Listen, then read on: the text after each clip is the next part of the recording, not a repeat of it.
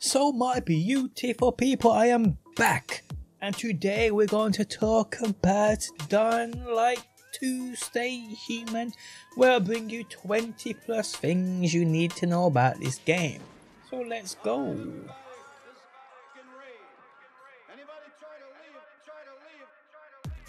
How's it going guys? My name's DPJ and if you do enjoy the video, leaving a like really helps out. And if you like what you see and want to see more, be sure to subscribe. So Dying Light 2.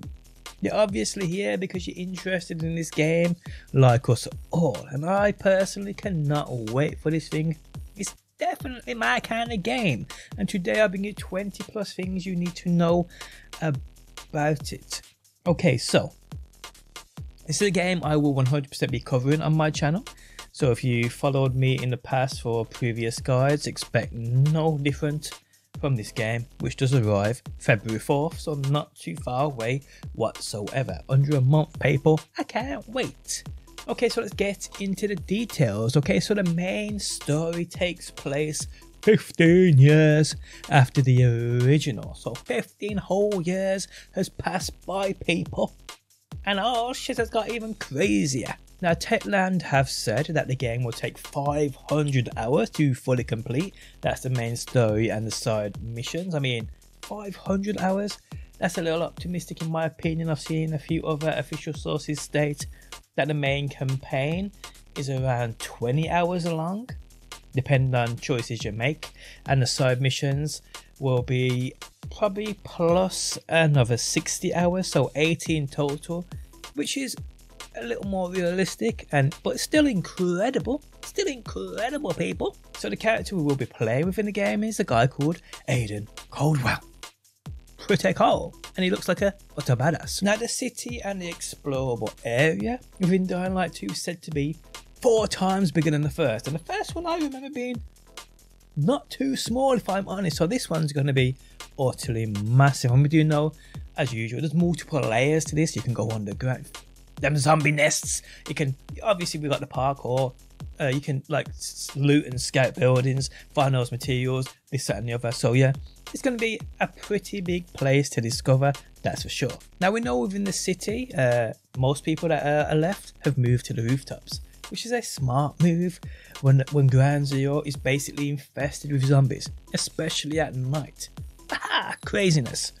So this this leads me to believe, and we actually know this through confirmation from Techland, that the parkour system is way more sophisticated in this game, with thousands of new animations, new gadgets, zip lines, you know, you, you name it, people, it's all here. Grapple hooks, parachutes, it seems, paragliders, maybe. We saw a guy in the trailer I think he's paragliding. It could be a parachute, you can't really see it. But my man's flying somewhere. He's using rooftop air vents to make him fly up higher, which looks pretty cool. So we know the, the parkour system and the way he can traverse this city is going to be way more sophisticated than it was in Dying Light 1, which I cannot wait for. Now, within the city, there are three main factions. So we have the survivors who are said to be just regular civilians, a friendly bunch, a peaceful bunch. Because of these people, their, their power within the city, their weaponry is limited. Remember that. We then have the peacekeepers who are like a military group. These believe in keeping that law and order, and because of this, guys, you know they are backed by a ton of firepower. And then we have the Renegades, who are basically a group of savages, ex convicts, bandits, looters, my kind of people. Mm. Well, who are you choosing, people? We have the survivors, the uh, peacekeepers, and the renegade. Who you picking? Who you picking?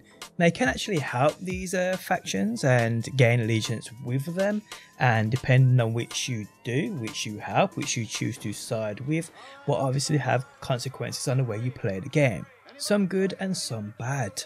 Now, these consequences may be as big as gaining or losing access to certain parts of the city. We may see main story characters dying and much, much more, which will then go on to affect the game on a bigger scale. Now, there's more than just humans you need to worry about within Dying Light because we have zombies, and zombies are at the top of the fuck you up chain. Now, zombies nest in and around that ground level and this game sees, I believe, all zombie types return from Dying Light 1.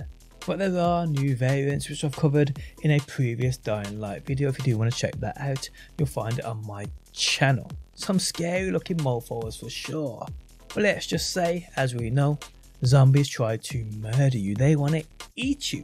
So you can either run and get the heck out of there, or you can stay and fight like a boss. Now Dying Light 2 will include skill trees. And from what we know of so far, what we've seen within a few gameplay trailers and sneak previews, there I think there's two sections to skill trees. We have the combat section and we have the parkour section.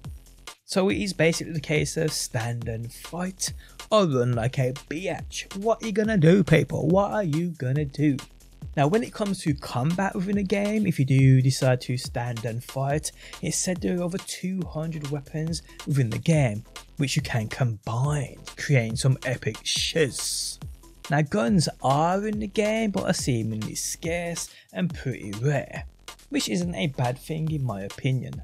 Weapon degrading will return, so you have to keep in mind that weapon repair cost and you don't want that weapon breaking in the middle of a battle because you will be in serious trouble. So it's something you have to keep an eye out on.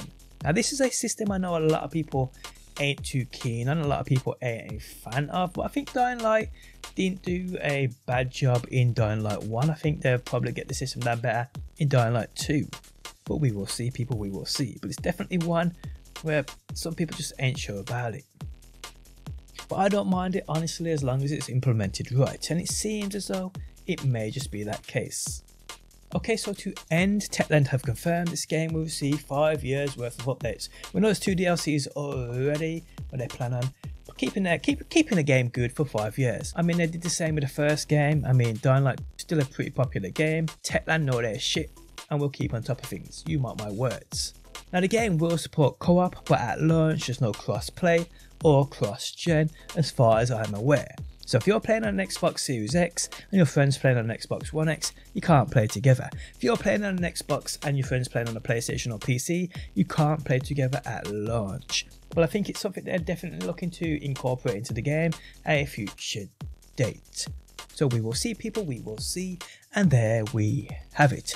We have come to the end of the video. If you guys enjoyed it, leaving a like really helps out. If you're new around here and want to see more Dying Light, because it's a game I'm definitely covering on my channel, be sure to subscribe, and hopefully people, I will see you on that next.